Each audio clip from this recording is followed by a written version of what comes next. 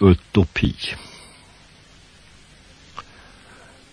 När den eviga freden är vunnen och försörjningsbekymren är små och all möda och nöd är försvunnen måste människan dö ändå.